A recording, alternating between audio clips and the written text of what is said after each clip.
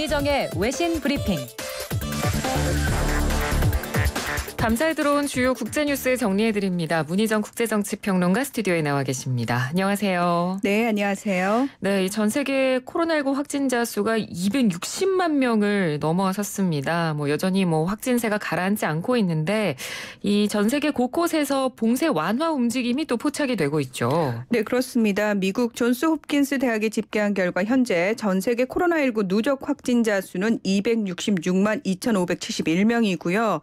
미국 미국이 가장 많은 83만 9천여 명으로 전 세계 코로나19 환자의 3분의 1 가까이를 차지하고 있습니다. 예. 전문가들은 아직 정점을 지나지 않았다면서 우려를 하고 있지만 미국을 비롯한 세계 곳곳에서 봉쇄 해제를 요구하는 시위도 벌어지고 있습니다. 이 가장 먼저 봉쇄 완화 움직임이 포착된 곳은 미국 다음으로 많은 확진자와 사망자가 발생하고 있는 유럽인데요. 예. 사실 여전히 매일 확진자 2만 명, 또 사망자가 3천 명씩 발생하고 있지만 신규 확진자가 줄어드는 추세였기 때문에 아마도 이제 봉쇄 완화 움직임이 음. 좀 나오고 있지 않은가 그렇게 짐작할 수 있는데요. 룩셈부르크가 21일부터 마스크 착용을 전제로 단계적 완화에 들어간 가운데 벨기에 정부도 코로나19가 정점을 지난 것으로 보인다면서 봉쇄 조치 완화 방안을 논의할 예정이다 이렇게 밝혔습니다. 이탈리아 굉장히 이번에 많은 피해를 입었는데요. 네. 구체적인 계획은 오는 주말에 공개하겠다면서 다음 달 4일부터 일단 단계적으로 봉쇄 조치를 조치를 완화하겠다라고 밝힌 상태입니다. 예. 이 독일 정부도 상당히 많은 그 확진자가 발생한 가운데 지난 20일부터 서점과 꽃 집 그리고 잡화점 등 800제곱미터 미만의 소규모 상점의 영업 재개를 허가를 했습니다. 음. 아무래도 이제 소상공인들 같은 경우에는 워낙 경제적으로 좀 힘들기 때문에 이 부분을 좀 고려를 한 게 아닌가 싶고요. 그렇죠. 오스트리아 역시 지난 14일부터 400제곱미터 이하의 소규모 매장의 영업을 재개를 했습니다. 네. 그리고 다음 달 1일부터는 대형 상점과 쇼핑센터 또 15일부터는 식당과 술집이 문을 열 예정입니다. 이 반면 확진자 수가 13만 4천 명을 넘어서면서 확산세가 잡힐 기미가 보이지 않는 영국 같은 경우에는 봉쇄 완화 조치가 좀 이르다면서 음. 부정적인 입장을 견지하고 있는 것으로 보입니다. 네.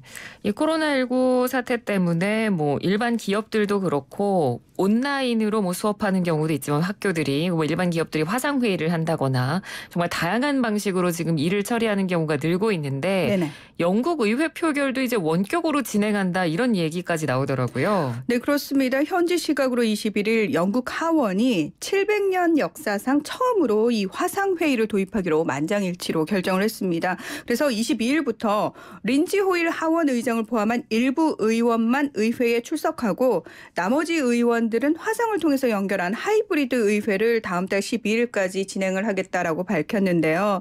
이 화상 회의 프로그램인 줌을 활용해서 최대 120명이 참여를 할 수 있고 이 아울러 화상 회의에 참여하는 의원들은 집에서도 예의를 갖춘 음. 단정한 차림을 하도록 규정을 했습니다. 네. 이 의회 내에는 전체 의원 650명 중에서 최대 50명까지만 출입이 허용이 되는데요. 이 사회적 거리두기 가이드라인에 따라서 서로 2미터씩 떨어져 앉는다고 합니다. 있습니다. 음. 이 영국 정부는 투표 과정의 결함이라든지 해킹 우려가 불식되기 전까지는 압도적인 찬성을 받아서 통과될 수 있는 법안만 원격 표결에 붙일 예정이다 이렇게 밝혔습니다. 예. 한편 미국 민주당 지도부는 231년 미국 의회 사상 최초로 원격 투표가 가능하도록 의회 규칙을 개정하겠다고 밝혔는데요. 이제 여기에 의원들이 직접 의회에 갈 수 없을 경우 임시로 다른 의원을 지명해서 대리 투표를 할 수 있도록 하는 규칙에 대해서도 23일 표결할 것으로 알려졌습니다. 네. 공화당 하원 지도부는 이 계획에 대해서 반대를 하고 있지만 민주당이 하원에서 다수당을 차지하고 있기 때문에 무리 없이 통과될 것으로 보입니다. 음. 그리고 캐나다 의회는 이미 매주 대면 회의 1회 또 화상 회의 2회를 혼합해서 진행을 하고 있는 상태고요. 또 각국의 발이 묶인 유럽 의회 의원들은 전자우편으로 투표권을 행사하는 등 온라인으로 의회 일정을 이어가고 있습니다. 네. 지금 코로나19가 많은 것들을 변화시키고 있는 것 같습니다. 자, 이번에는 미국으로 가보도록 하죠. 간호사들이 백악관 앞에서 시위를 벌였다고요. 네, 그렇습니다. 이 미국 질병통제예방센터에 따르면 현재까지 미국에서 코로나19 양성 판정을 받은 의료진이 9천 명을 넘어섰다고 하는데요. 많은 지역에서 사실 검사가 제대로 이루어지지 않고 있기 때문에 아마도 실제로는 이보다 감염된 의료진이 더 많을 것이다 이렇게 네. 얘기를 하고 있습니다.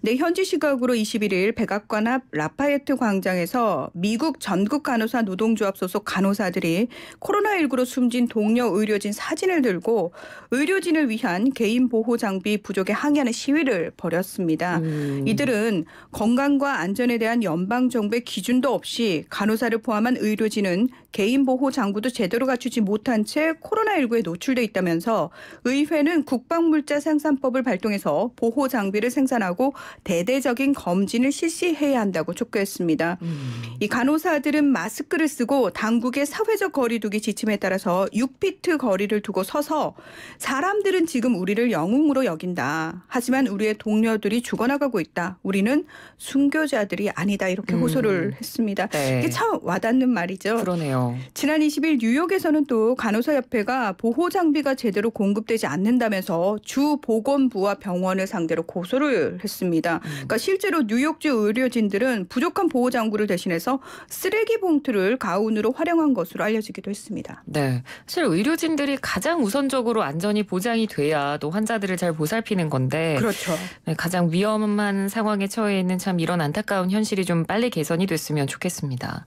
이렇게 코로나19 사태로 어려움에 처한 사람들이 상당히 많은데 유엔이 최근에 발표한 내용을 보니까 전 세계 2억 6천만 명 이상의 인구가 심각한 식량 위기에 처할 수 있다. 이런 경고를 또 내놨죠. 맞습니다. 이 유엔 세계 식량 계획이 4차 연례 식량 위기 보고서를 통해서 코로나19의 여파로 올해 빈곤국들을 중심으로 2억 6,500만 명이 굶주림에 처할 수 있다고 경고했습니다.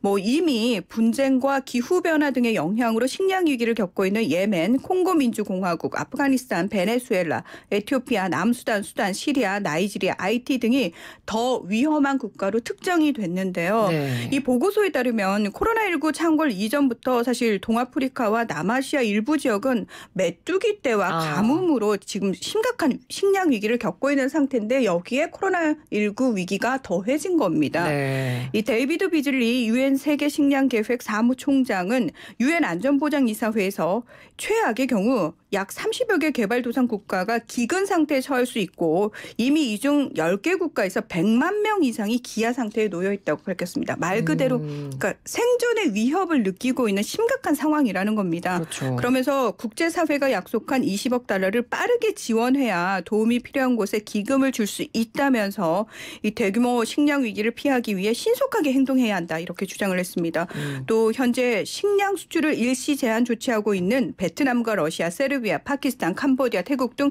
주요 농축산물 수출국 등을 향해서 식량 수출 금지 등 식량 공급망의 차질을 빚는 행위를 중단해 달라고 요청한 상태입니다. 예.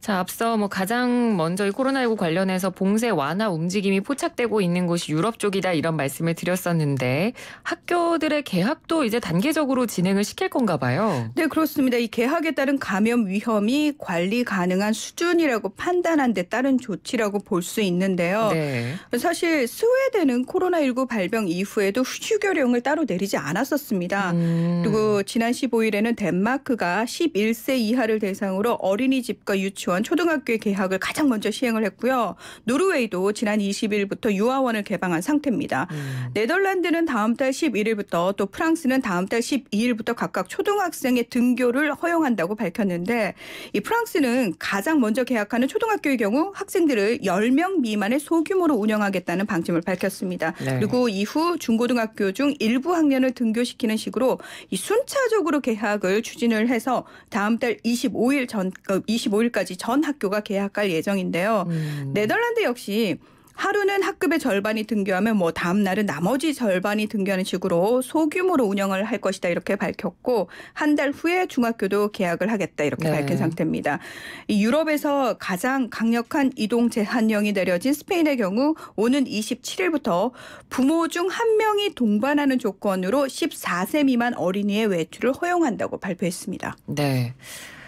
자, 이 중국에 대해서 이 코로나19 사태 책임을 묻는 목소리가 뭐 여전히 계속해서 이어지고 있는 상황입니다. 중국은 책임을 계속 회피하려고 하고 있습니다만 네네. 이 미국 미주리주가 실제로 중국을 상대로 또 소송을 제기했다고요. 네, 그렇습니다. 이 지난 20일에 짐 베커스 의원 등 20여 명의 미국 공화당 하원 의원들이 사실 미국 국무부와 법무부에 코로나19 사태를 유엔 국제사법재판소로 가져가서 중국의 책임을 물어야 한다는 내용의 음. 서한을 보내기도 했고요. 네. 또 공화당 일부 의원들은 미국인이 중국 정부를 상대로 미국 법원에 소송을 낼 수 있도록 하는 법안을 발의하기도 했습니다. 음. 그런데 실제로 이 미국 미주리주의 에릭 슈미트 법무장관이 21일에 중국의 코로나19 부실 대응을 이유로 중국 정부와 공산당 등을 상대로 주 지방 법원에 손해배상 청구 소송을 제기했습니다. 음. 이 법무장관은 뭐라고 얘기를 했냐면 중국에서 발병한 코로나19로 수많은 인명 손실과 인적 고통, 경제적 혼란이 발생했다면서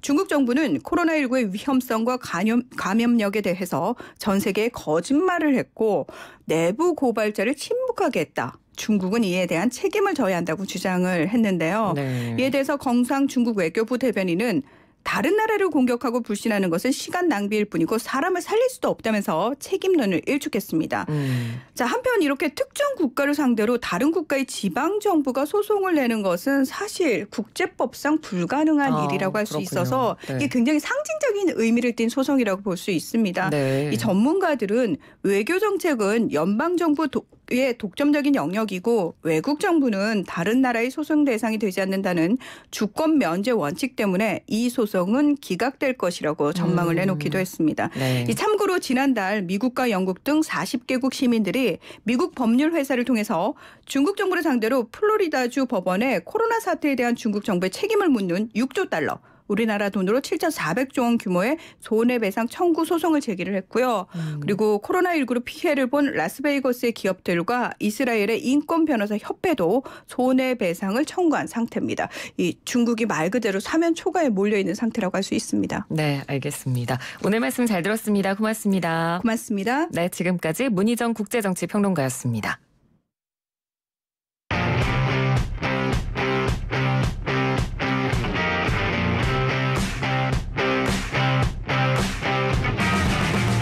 국제 뉴스를 바라보는 여러분의 시각이 넓어집니다.